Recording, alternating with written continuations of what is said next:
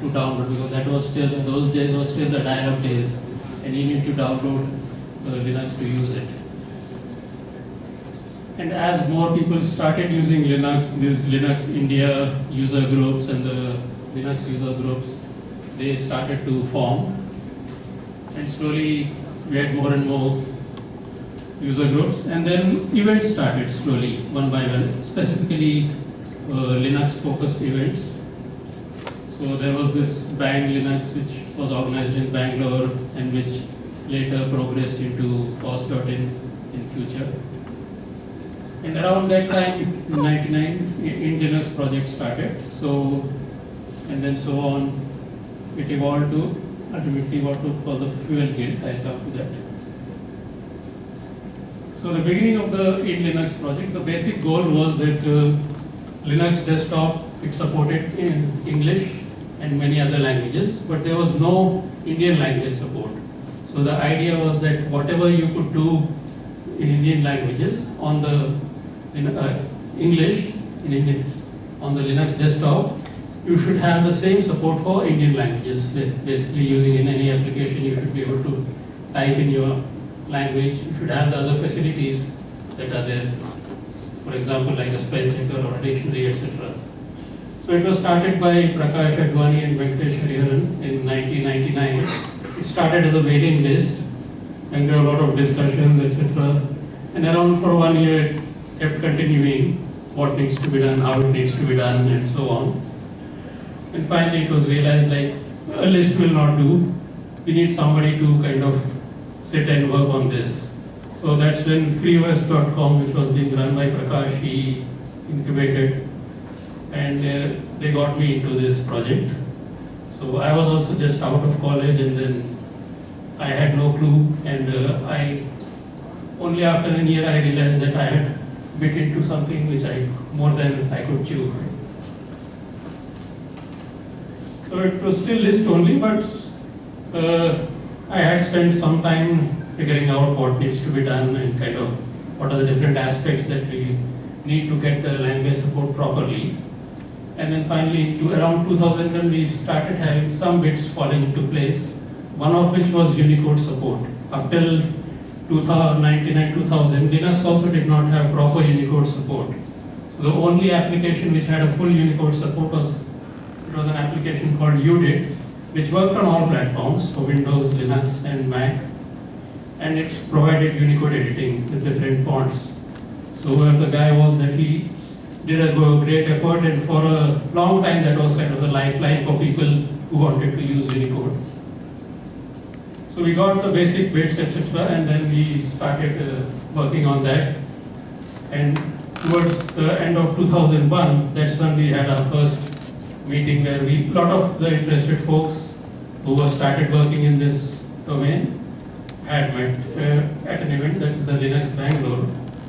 And then in 2002 we had uh, the Indic computing meet. So a lot of other technology people, people from HP, Microsoft, IBM, and so on, and a lot of uh, free software guys.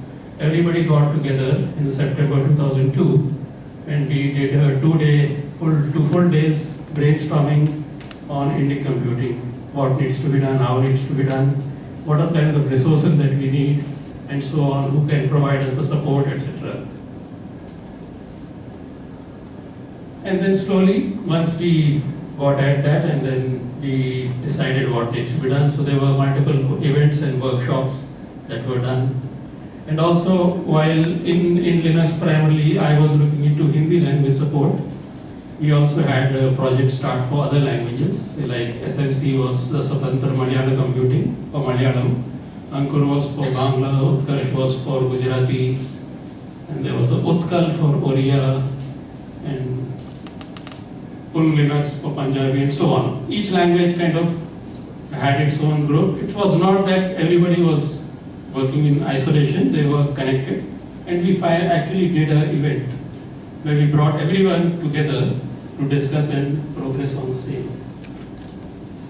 So here it's on just photos. So this is the CD that brought the change.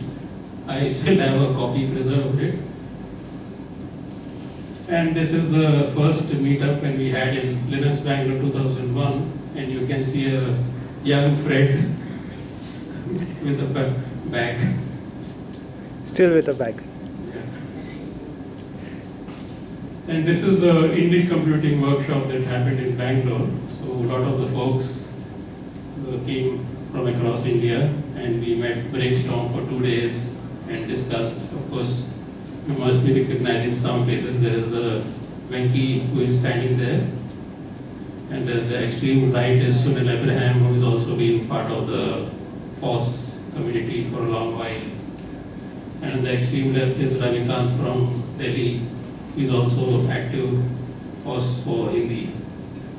And in between Vijay Pratap is, and so on. Uh, that person bending over is Ashish Kotamkar. And this was the first materialization of the event. So what we did was to had the Indic font workshop. We had a few people from Nepal and Bangladesh also coming in. So the focus of this event was that uh, that time we did not have Indian language fonts also ready.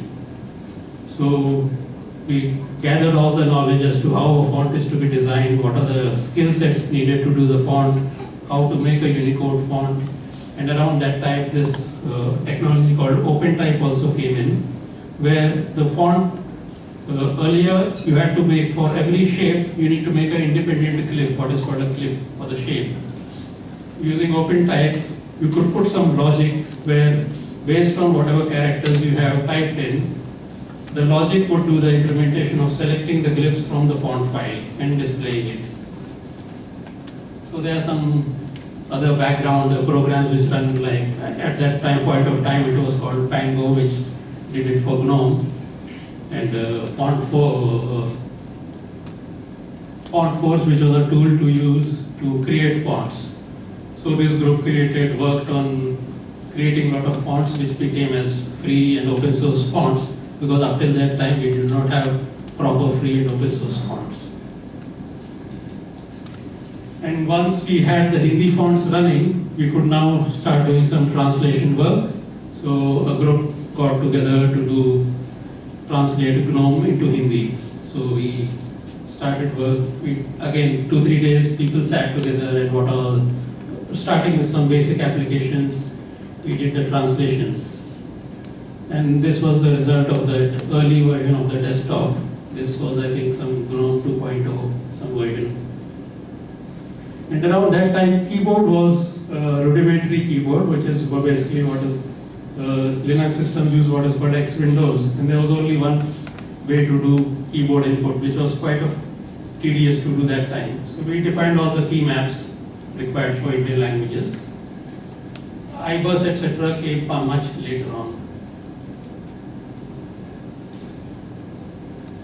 And in 2004, again, we got everybody who is working in the language field. We got all of them together in Mumbai and uh, again brainstormed how where we have reached, what all we have developed, uh, what further needs to be done, etc. So all the languages were represented and they further took their work, pro work progressed and they started also releasing their own work in the different languages. This was one of the discussion session going on. If you might see, there might be quite a lot of faces here. Maybe you might later on, if you look back, you will see those people have like gone ahead. They've somehow even formed their own companies and successfully running companies, and so on.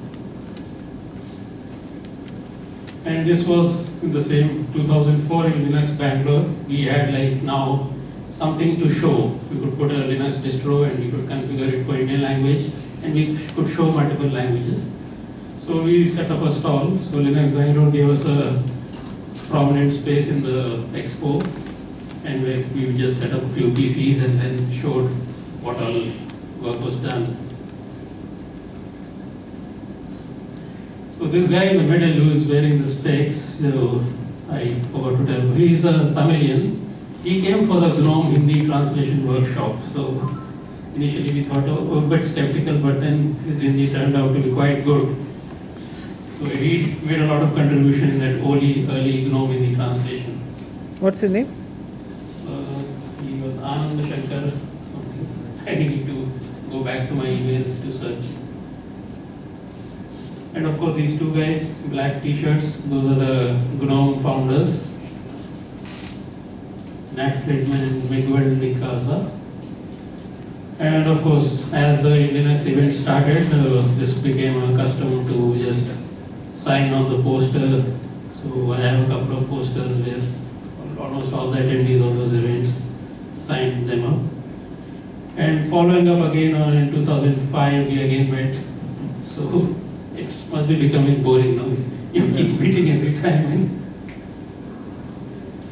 But it was good. Like what the basic idea here was to like get everybody whoever is working together once in a year to one place and then discuss, brainstorm, and then again diverse, and then do their things, and then again collect whatever has been done. And this was another Hindi translation workshop and we got some Hindi students to do some of the activities.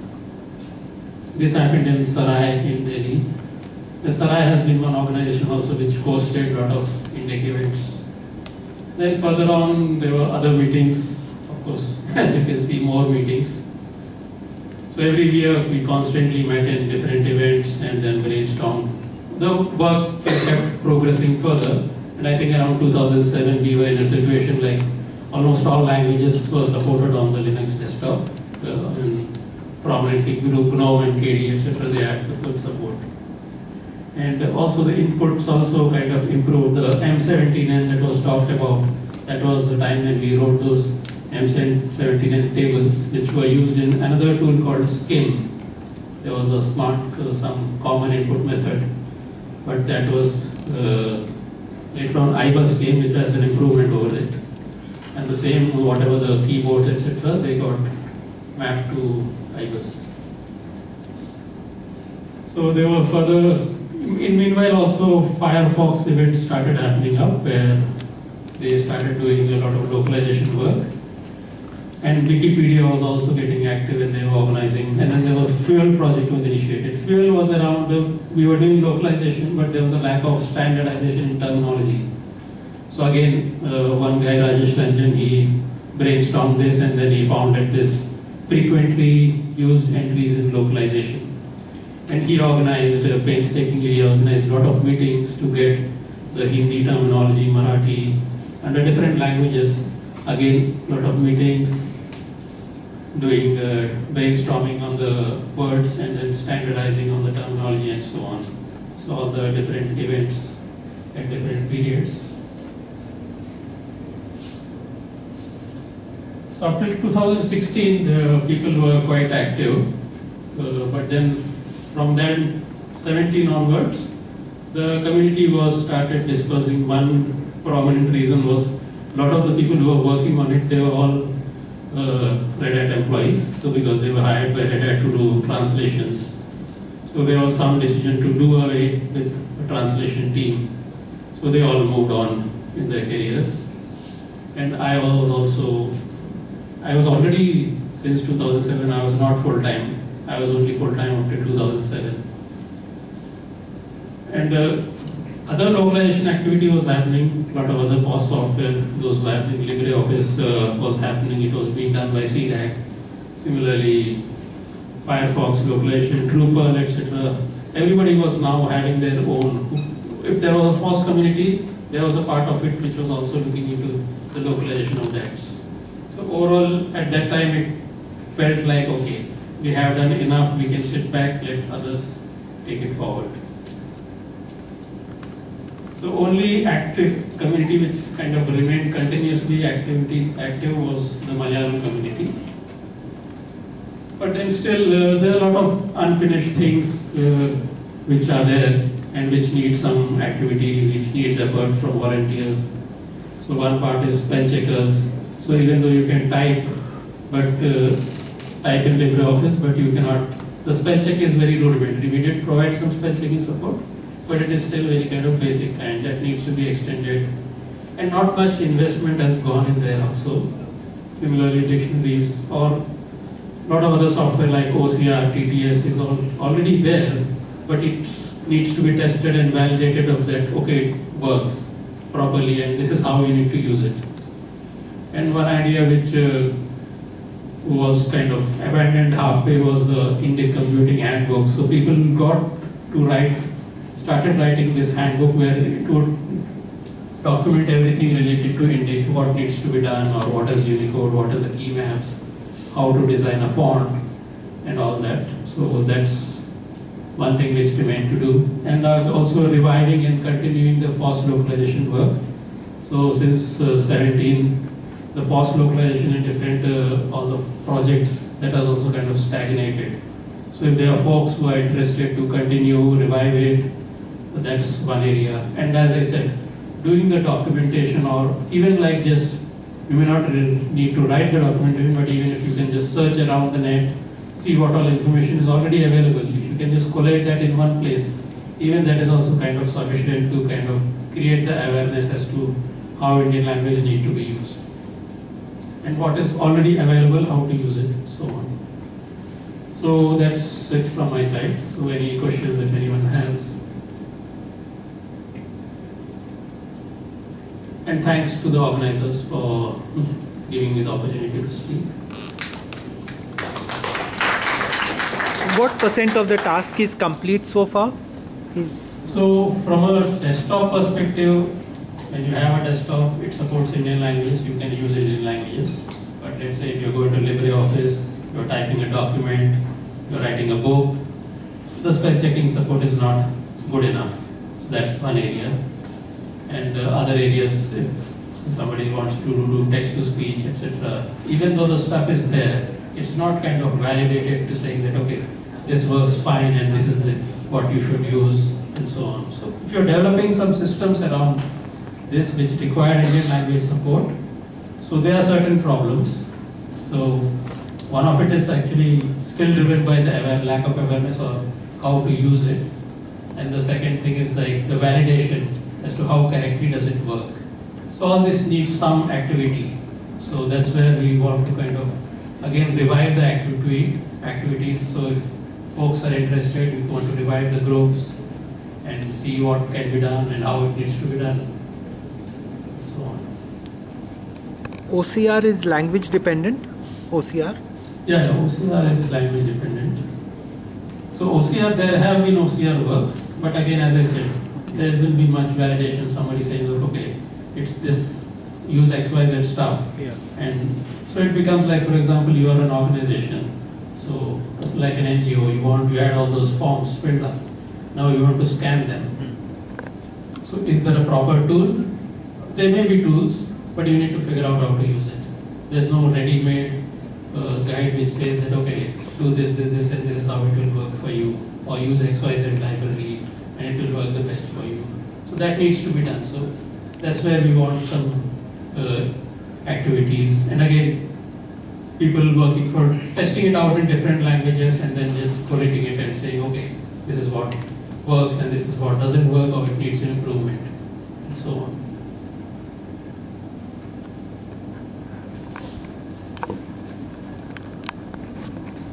Okay, so that's it from my yeah. I have one question. So, uh, what do you suggest to the young developers or the college students? So, what, where they, they should focus? I mean, so from 2010, sorry, 2022, uh, sorry, 2000 2010, you know, there was a movement. A lot of people, you know, came together work on this localization.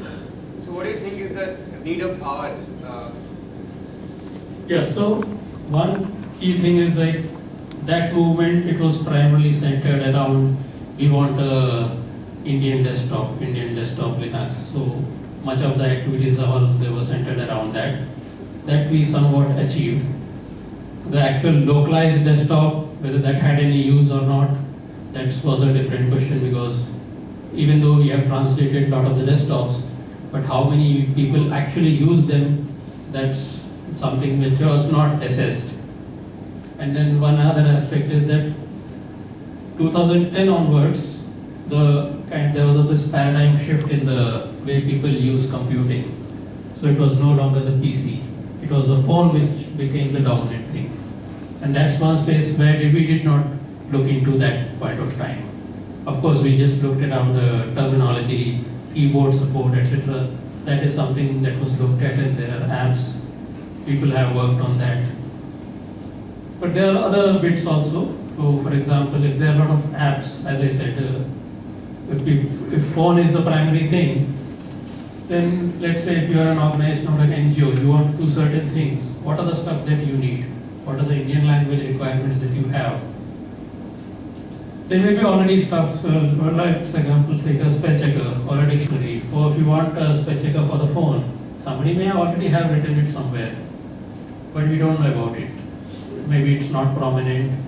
We need to kind of search, somebody needs to test it and then write a, just a blog or maybe just a note saying that, okay, this is what we have tried out and this app works best for so and so language.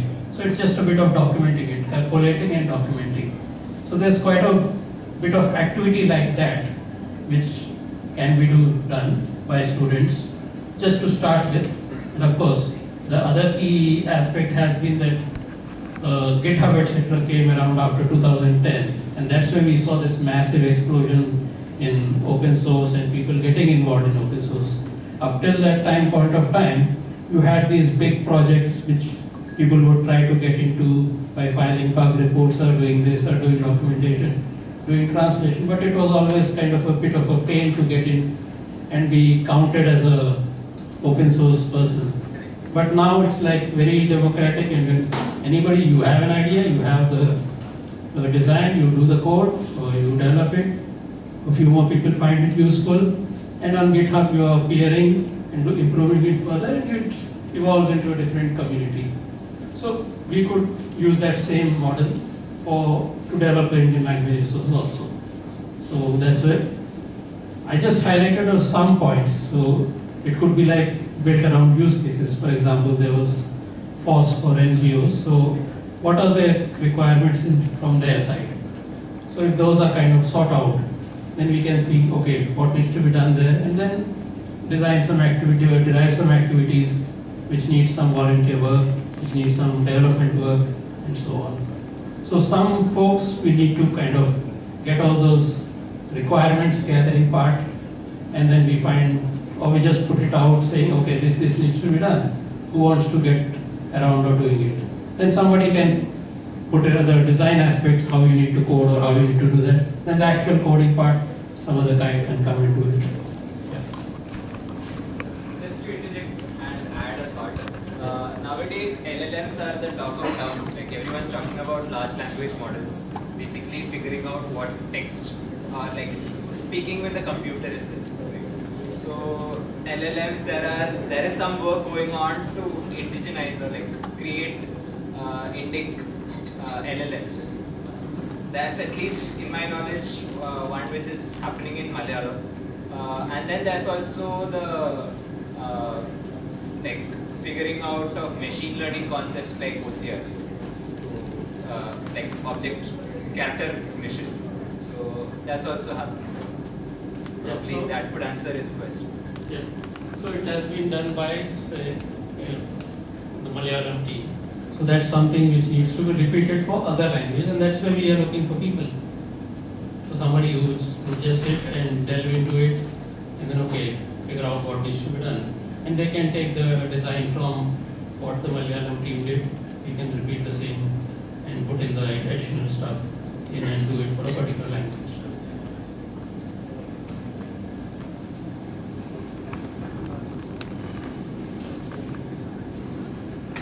Okay, so thanks for